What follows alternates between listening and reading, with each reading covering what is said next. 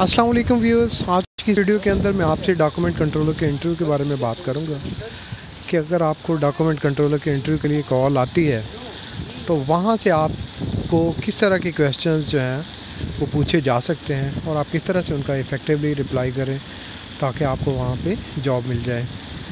आ, video शुरू करने से पहले मैं आपको थोड़ा सा बताता चलूँ कि मैं आज बाहर हूँ अबू धाबी कॉलेज पे बैठा हुआ हूँ।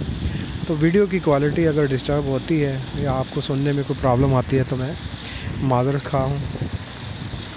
कोई भी जो इंटरव्यू होता है, उसके बेसिकली तीन सेक्शन होते हैं। पहला सेक्शन इंट्रोडक्शन पे मुनहसर होता है। जो दूसरा है, वो वहाँ पे टेक्निकल आपसे पूछते हैं।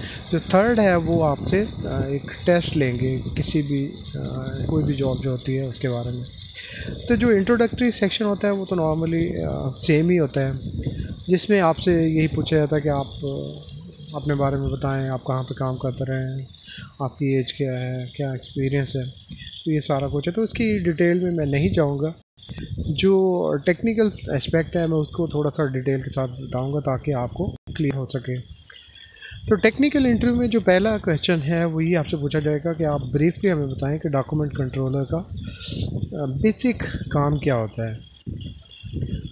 तो डॉक्यूमेंट कंट्रोलर का जो बेसिक काम होता है वो ये है कि किसी भी कंपनी या किसी भी जो प्रोजेक्ट है उसके अंदर जितने भी इनकमिंग या आउटगोइंग डॉक्यूमेंट होते हैं उनको आ, सेव करना उनको स्टोर करना चाहे उनकी इलेक्ट्रॉनिक या सॉफ्ट कॉपी है या हार्ड कॉपी है। तो इनको एक प्रोसीजर के तहत स्टोर करना और फिर दोबारा ज़रूरत पड़ने पर उनको रिट्राइव करना और रिप्रोड्यूस करके मुतल शख्स या मुतल कंपनी को इशू करना बगैर कोई टाइम ज़ाया किए। तो ये जो है वो बेसिक डॉक्यूमेंट कंट्रोलर का काम होता है। अब जो सेकंड है वो आपसे ये पूछेंगे कि अच्छा आप इसकी एक्टिविटीज़ के बारे में बताएँ कि डॉक्यूमेंट कंट्रोलर की जो है एक्टिविटीज़ हैं वो क्या होती हैं। तो डॉक्यूमेंट कंट्रोलर की जो एक्टिविटीज़ हैं, वो ये हैं कि जो इनकमिंग डॉक्यूमेंट्स होते हैं, उनको रिसीव करना, उनको स्टैम्प करना, अपने जो प्रोजेक्ट मैनेजर है, जो, या जो भी डायरेक्टर है, उसके सामने उनको प्रेजेंट करना वो जो डिस्ट्रीब्यूशन आपको लिख के दे, उसके मुताबिक उसकी कापियाँ तैयार करना और उनको इनका कंपनी के अंदर या कंपनी के बाहर डिस्ट्रीब्यूट कर देना।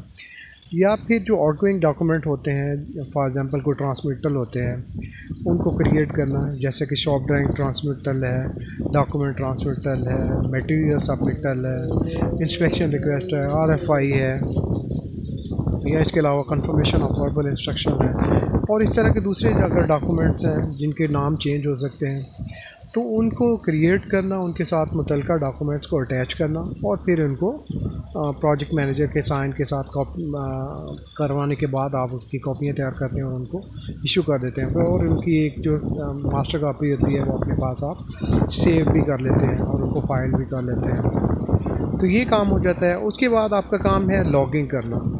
लॉगिंग जो है वो डॉक्यूमेंट कंट्रोलर में या डॉक्यूमेंट कंट्रोल का जो काम होता है, उसमें वो एक रीढ़ की हड्डी की हैसियत रखता है। मैंने ये जो आपको बताया है ना कि आप कोई भी डॉक्यूमेंट मिनटों के अंदर रिट्राइव कर सकते हैं तो वो इसी सूरत में कर सकते हैं, अगर आपने लॉगिंग उसकी सही तरह से की हुई होती है। तो logging is like spine cord of document control system तो इसको आपने बहुत अच्छे तरीके से करना है। तीसरा काम जो आपका होता है, वो रिपोर्ट राइटिंग है। फॉर एग्ज़ाम्पल डेली रिपोर्ट है मंथली रिपोर्ट है, ये वीकली बाई वीकली जो भी रिपोर्ट है, वो आपने क्रिएट करना होती है। अगर कोई मेमो होता है इंटरनल मेमो वो आपने ड्राफ्ट करना होता है कोई लेटर वगैरह है तो वो आपने लिखना होता है। और इस तरह के जो काम है एडमिनिस्ट्रेशन के काम फॉर एग्ज़ाम्पल जो साइड में स्टेशनरी या पेनेट्री पेंट्री वगैरह के जो काम होते हैं वो आपने करने होते हैं ताकि उनका स्टॉक आप मेंटेन रखें वो ख़त्म ना होने पाए। उसके अलावा हमेशा ये लिखा जाता है आपके कॉन्ट्रैक्ट के अंदर कि नॉट लिमिटेड टू ड्यूटीज़ जो होती हैं। मतलब यही होता है कि इसके अलावा भी अगर कोई काम होंगे तो आपको आ, करने पड़ेंगे। जो कि वक्ता फ़क्ता जैसे कि आपका मैनेजर सोचता है कि ये काम ज़रूरी है तो वो आपको कह सकते हैं। तो बेसिक जो आपकी जो ड्यूटीज़ हैं, वो यही हैं। जो आपकी रिस्पॉन्सिबिलिटी है, वो यही क्वेश्चन आपके, इसके बारे में पूछे जाएँगे। अब नेक्स्ट जो है, वो आपका एक टेस्ट होता है। टेस्ट के अंदर जो आपको दिया जाता है, वो एक माइक्रोसॉफ्ट एक्सेल का एक फॉर्मेट दे दिया जाता है कि ये जो फॉर्मेट है, आप उसको बना के दें। कोई फार्मूले वगैरह लगे हुए हैं तो वो आप उसमें लगा दें और सेम वैसा फॉर्मेट क्रिएट कर दें। और इसके बाद दूसरा आपको कोई वर्ड की कोई फ़ाइल दे देंगे या वर्ड का एक लेटर दे देंगे ये लेटर आप इसका रिप्लाई लिखें या ये लेटर सेम बना कर दें। तो वो बेसिकली उनको चेक करना होता है कि आप ये काम कर सकते हैं या नहीं। तो ये है, या आपसे कोई ईमेल लिखवा सकते हैं आउटलुक के अंदर। तो ये आपका टेस्ट होता है, जो आपको देना होता है। तो अगर आप ये सारे काम अच्छे तरीके से उनको करके दे देते हैं तो इन आपकी सिलेक्शन वहाँ पे हो जाती है।